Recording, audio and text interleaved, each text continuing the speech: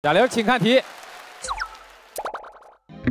嗯这也没变形啊！三，不是没变没变形，我也不知道他是谁呀。我就往前走，我就不亲他们的。我想这是装眼睛，装视力不好。对，谁呀？高峰老师，一，我们都猜出来了，谁呀？高峰老师，我们也没看出来。可真的不是我，哥，你看一眼，我真没看出来。我走那么近，我都不知道是谁。我我觉得峰哥从来没长过这样，至少在我的认知里。这个真看不出来。啊，哥真的不赖我，哥，我我滚一边去！